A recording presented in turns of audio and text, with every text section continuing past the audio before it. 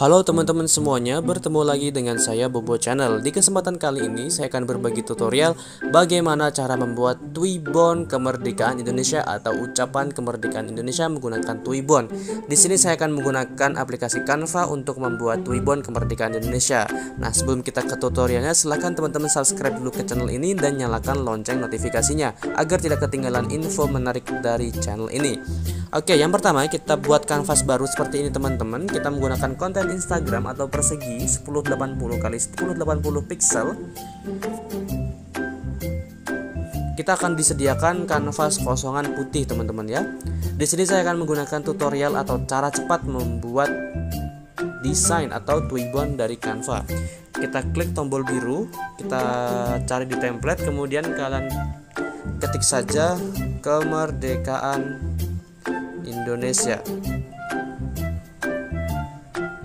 Nah, di sini banyak sekali tuh ibuan, kalian tinggal pilih sesuai selera kalian.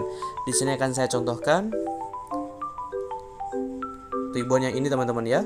Kemudian kalian bisa sesuaikan selera kalian atau kalian bikin ucapan tentang uh, kemerdekaan Indonesia atau kalian bikin instansi kalian sendiri misalkan keluarga besar organisasi bla bla bla mengucapkan Dirgahayu Republik Indonesia yang ke-77. Nah, di sini saya akan cari uh, mohon maaf, saya akan kasih tahu bagaimana cara mengganti foto ini teman-teman. Yaitu caranya kalian tinggal klik frame-nya atau klik elemen fotonya seperti ini teman-teman. Kemudian kalian klik tombol tiga teman-teman. Ini ya, titik tiga yang ada di sini. Titik tiga. Kemudian kalian pisahkan gambar atau kalau bahasa Inggris di tag image ya biasanya kita pisahkan gambar. Nah seperti ini teman-teman. Kemudian kalian hapus gambar yang ada di sini. Kalian masukkan sendiri foto atau gambar kalian. Di sini saya akan contohkan menggunakan gambar yang ada di Canva atau foto yang ada di Canva. Nah seperti ini saya akan cari foto misalnya anak-anak. Anak SD nah ini ada foto. Saya akan masukkan teman-teman ya. Tinggal geser-geser seperti ini pasti akan masuk ke frame teman-teman.